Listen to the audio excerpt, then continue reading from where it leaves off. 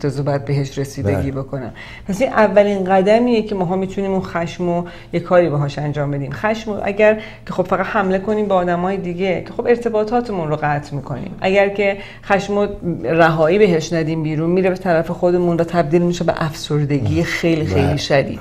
و در نتیجه این یکی از راههایی که ما می‌تونیم با خشم خشم رو ادارش بکنیم در حقیقت و از بدن رها کنیم. عرض به خدمت شما که قبل از اینکه وقتی که مواد مخدر رو ترک می‌کنیم یه دونه احساس دیگه ای میاد که احساس سکسواله یعنی تو ایران بهش میگن قول دو. قول اول مواد مخدر قول دو احساس. احساس سکسوال می‌تونه ما رو گول بزنه. و تا یک مدتی تمام این خشم و این احساسات منفی رو ما بتونیم به عنوان سکس به عنوان یه دونه بله. ماده مخدر جدید یه اعتیاد جدید اعتیاد نمی‌تونم اسمشو بذارم ولی به عنوان یه چیزی که داره ما رو فیکس می‌کنه و سرگرم می‌کنه که همون اخلاق رفتار گذشته رو ادامه بدیم بره جلو زمانی که این کارهایی که شما فرمودید انجام گرفت تازه شخص اگر بشینه و بنویسه دو تا حرکت انجام داده یعنی هم عین همون جریاناتی که شما فرمودید. خشمشو اکسپرس کرده. حالا با نوشتن experience هم تجربه هم کرده. به عنوان یه نوشته می‌تونه بمونه. دفعه بعد که خشمی میشه یا به مرور زمان که نوشته های خودش رو می‌خونه اصلا یه دونه process healing ی برای خودش اتفاق میفته. چون خودش در مورد خودش نوشته شده. خودش می‌دونه که کجاها بی خودی اگزاجره کرده بی خودی رفته جلو و می‌تونه جلو خودش رو بگیره. این میاد. ولی چیزی که توی جامعه ایرانی الان شما نگاه می‌کنید بچه که اینجا بزرگ شدن خشمه. ولی کسایی که از ایران اومدن به خاطر موقعیت هایی که این طریقی شما میگید خودشون رو نتونستن تخلیه بکنن بیشتر شما افسردگی می‌بینید. افسردگی و ناله. بله ولی اینو در نظر داشته باشید.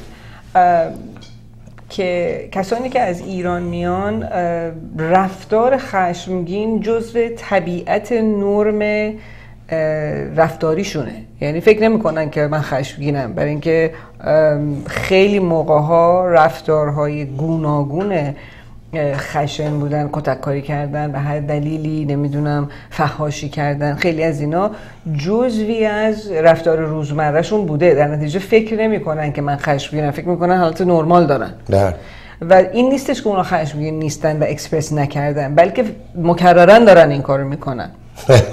مکررن داره این کار اتفاق میفته. در حالی که خب اون مدل خشم و اون رفتارها الزامن شاید تو یک سری از فرهنگ های دیگه تو حالت طبیعیش گفته نمیشه.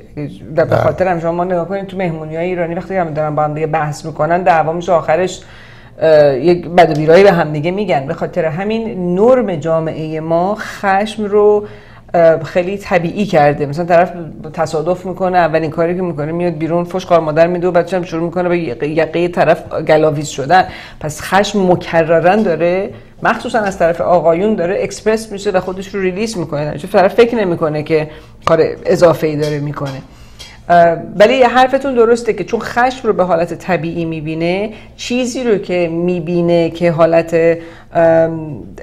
برای اون زجرآوره اون قسمتی که به طرف خودش میاد و غم و اندوهش هست. اون غم و اندوه برای اشخاص دردآوره. برای اینکه فکر می‌کنن یه چاه خیلی خیلی خیلی عمیقیه. که همیشه میترسن که عمقش چجوری باشه و یه عمقش انقدر زیاد باشه که هیچ وقت نرسن خانم دکتر این غم و اندوهی که شما گفتین و من بحثشو باز کردم من خیلی اینو دیدم توی افرادی که عضو دوازده قدم هستن. این غم و اندوهه باز به خاطر اینکه ما ایرانیا کسی که غمناکه رو مشکل بتونیم روبرو بکنیم من اینکه چه کارهایی رو کردی که اینطوری شده و چه کارهایی رو الان باید بکنی که از این غم و اندوه در بیاد. به confrontation نمی‌تونیم بکنیم ناز نازی می‌کنیم. درصدی از این افراد در این غم و به عنوان victim و قربانی میمونن و یه business براشون بدونه که بدونن یه دکون میشه بله. آره یه دکونی میشه که توی پشت این دکون راحت میشینن. هر وقت که بشه میگه خدا رو شکر حالا تمیز هستن ولی این بدبختی این بدبختی این بدبختی این بدبختی رو دارم و کسی هم اینجا پیدا نمیشه بهش بگه که آقا تو چرا فکری برای بدبختی های خودت نمی‌کنی؟ دقیقا ببین دو, دو تا مسئله بسیار مهمی شما دارید مطرح می‌کنید یکیش احساساته که واقعا درون انسان این احساسات وجود داره. یکی باز هم یک چیز مسئله فرهنگی که برای ما وجود داره. من صداش می‌کنم دراما و تراما شیرینگ یعنی در میون گذاشتنی که فقط و فقط حالت های دراماتیک داره و یعنی خیلی کم پیش میاد. شما به نفر مثلا بریم بگیم که حالت چطوره بگه خوبم خیلی ممنونم و هم واقعا هم خوب باشه. حالا خوبم ممنونم به عنوان دروغ نه ولی واقعا خوب باشه و اونجا کامل بشه. یعنی یک مقداری اینی که رو می‌دونین آس برای همدیگه رو میز می‌ذاریم به این که گرفتاری من بیشتر از توه این که چیزی نیست مال من بدتر از توه. اون هم جزوی از حالت طبیعی فرهنگ ایرانیه. فرهنگ نمی‌تونم بگم فقط فرهنگ ایرانی. می‌تونم بگم یه مقدار خیلی زیادی از انسان هاست که این مدلی رو که هی مکررن میرن. حالا درسته که تو فضای غرب یک مقدار این حالت success sharing و بهتر شدن بله. اینا وجود داره. ولی شما یعنی دو در دو حالت می‌بینین در, در فرهنگ ما. حتی وقتی که داره از قدرت هاش صحبت می‌کنه یا داره از دارایی هاش صحبت می‌کنه همیشه وصل باز به یک ذره از این حالت drama و trauma sharing و اون هم این دوتا رو می‌خوام فقط اصلا مبحث رو باز بکنم که یکیش رفتار و یک عادت که عادت نق زدنه. عادت اینی که چقدر من گرفتاری دارم. می‌دونید چون این چیز توی بطن فرهنگ ما هستی که من نگم چشمم می‌زنن چشم بد وجود داره. اینجور چیزا هم وجود داره که در نتیجه مثلا با صورت خود تو سیل نگهدار سرخ نگهدار یا یه سری چیزهایی خیلی طبیعت فرهنگی برای ما داره. اون متفاوته با خود احساس. احساس با رفتار متفاوته. در همون که مثلا ممکن شما خشم داشته باشی ولی الزاما شروع نکنی کتککاری کردن یا بد دهنی کردن اینجوری خشمت باشه برات. احساس اندوه و غم متفاوته با رفتارش. در نتیجه احساسش رو طرف می‌تونه داشته باشه ورای اینی که بخواد این رفتارها رو انجام بده. ولی حرفتون درسته که داری توی اون فضای غم و اندوه هم عادتش میشه اون شخص که بشینه چون چرا؟ به خاطر اینی که خیلی موقع ها اشخاص اون حالت موفقیت رو تجربه نکردن. احساس طبیعی خوشحالی رو از صمیم قلب رو تجربه نکردن هیچ وقت. شاید تو خانواده هایی بودن که هیچ وقت این تجربه نشده. در نتیجه اون غمه یه شیرینی هم با خودش میاره که توش میشینه. و, و ببینید دکتر موفقیت از نظر یه دونه معتادی که تازه پاک شده به انجام انجام موقعیت هایی که از دست داده. یعنی یه دونه معتاد بله. 99 درصد کسایی که معتاد پاک شدن وقتی ازش میگیم موفقیت معنیش چیه؟ اول میگن پولداری پول داشته ماشین خوب داشته باشم خونه داشته باشم اگه مردن میگن دوست دختر داشته باشم و من اینجا دیگه موفقم. بعد از یه م... همشون هم دارن این کار می‌کنن ها. یعنی شما توی جلسات دوازده قدم ایرانی که میری جلسات دوازده آمریکایی که میری نه. یارو با یه فرد قرازه میاد اونجا میشینه و میگه من آیم هپی ولی جلسات دوازده قدم ایرانی میری همه اونجا بنزا واسده اونو میرن پیکاپ می‌کنن اول بعد تست می‌کنن که موفقیت این نیست. برای چی؟ برای اینکه یک دونه معتاد در زمان مصرفش در اثر isolation ی که برای خودش میره و تنها میشه. loneliness هم یه دونه احساس خیلی بدیه بله، که اونجا گیر میده و هر چقدر که میرن ماشین می‌خرن نمی‌دونم فلان می‌کنن لباس های خوب خوب می‌پوشن اون به هر جهت شما می‌دونید بهتر از من که احساس موج داره. یعنی من هر چقدر دارم که اینجا بخگم و بخندم ولی کسایی که منو میتون می‌بینن خیلی هاشون می‌تونن تشخیص بدن که این موجی که من از طرف دارم برای خود میفرستم همچین آنچنان موج خوشحالی نیست. من یه جایی یه اشکالی ممکنه داشته باشم. و زمانی که یه دونه معتاد در حال پاکی برخورد می‌کنه با دیگران این موج میفرسته ناخداگاه دیگه دورانی که من بخوام پشت چیزی قایم بشم برای من تموم شده و هر جا که من قایم میشم یه طوری دستم رو میشه. این منو کلافه می‌کنه. این منو می‌بره یه جایی که پس من باید چیکار بکنم؟ آخر همه اینا هم آخرش یه مسیره. یعنی مسیری که شما تمام سلولای برادرت باید خودتو دوست داشته باشه. در نتیجه من یه کارایی باید بکنم که سلولای بدن من منو دوست داشته باشه. اگر بخوام اون کارا رو نکنم بعضی از قسمت های بدنم من اعتراض می‌کنم. دقیقا. اونجا نقطه تکامله. موفقیت اونجاست که من هم می‌تونم اگر که من دارم میرم سر کار او حالا من معتاد بودم. یه ساعت دیر بودم. یه ساعت زود بیام بیرون. یه ساعت بریک بگیرم. بعد شما حالا کلینتی نیم ساعت اونجا منتظر باشه یعنی از این ده 12 ساعتی که کار می‌کنم 8 ساعتش دزدی بکنم معلومه من نمی‌تونم آدم موفقی باشم. اگر من تنها کنسلر شهر باشم قبول داشته باشن بخواد اینکه چند زبون هستم من نمی‌تونم با خودم موفق باشم.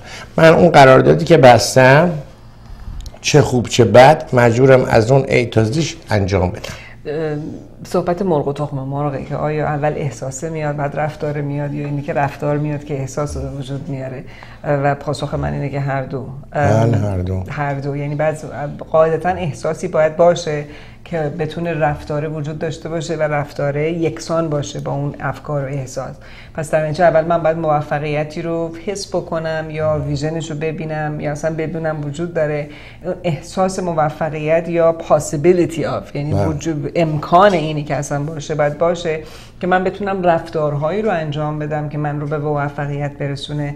و بعد وقتی رفتار رو انجام دادم نتیجه اون رفتار هم دوباره اون احساس رو به من برمیگردونه که موفقیت خودم رو تجربه بکنم. در نتیجه این چون ما الان دیگه می‌رسیم آخرای برنامه باز میگن همه مسائل گفتین راه حل نگفتید آیا به نظر شما رفتار ما رفتار مثبت ما می‌تونه قسمت اعظمی از این احساسات منفی ما رو تحت تاثیر بذاره و هیلش بکنه یا نه؟ خیلی هم گفتم جریان مرغ و تخم مرغ. ببینین رفتار رو که ما خیلی بلد نیستیم. یعنی یک سلسله مراتب رو یاد گرفتیم و همونها رو ادامه میدیم. و تصور می‌کنیم که همون رفتار رو ادامه بدیم نتایج دیگه ای می‌گیریم که خب این کمی معتاد گونه است.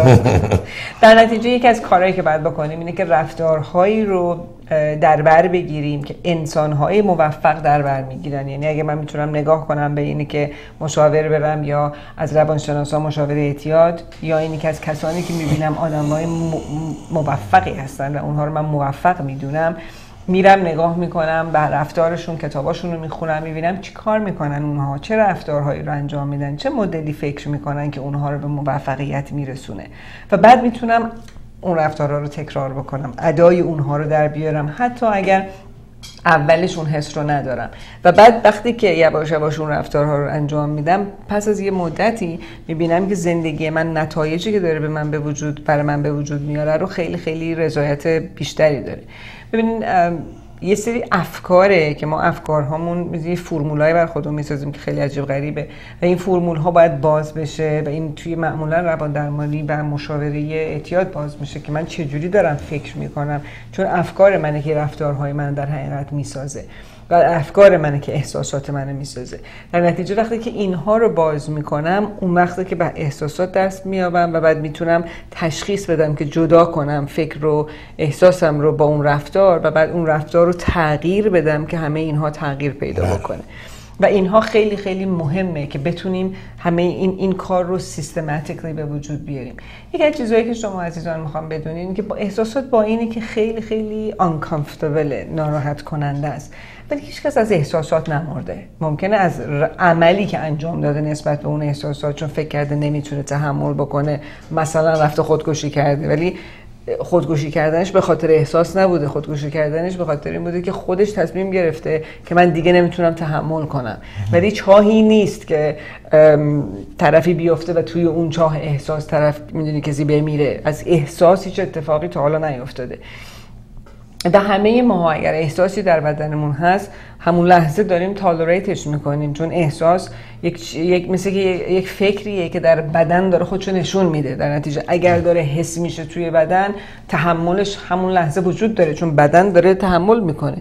اگر که dissociate نمی‌کنه. چون کسانی که احساساتشون رو نمی‌تونن تحمل کنن یا زیادی هست مثل box fuse هست که میپرونه. خیلی از اشخاص هم می‌بینید dissociate می‌کنن از بدنشون جدا میشن که احساس تحمل نکنن. پس اگر دارن تحمل اگر تو بدنشون دارن حس می‌کنن بدونن که دارن تحملش می‌کنن.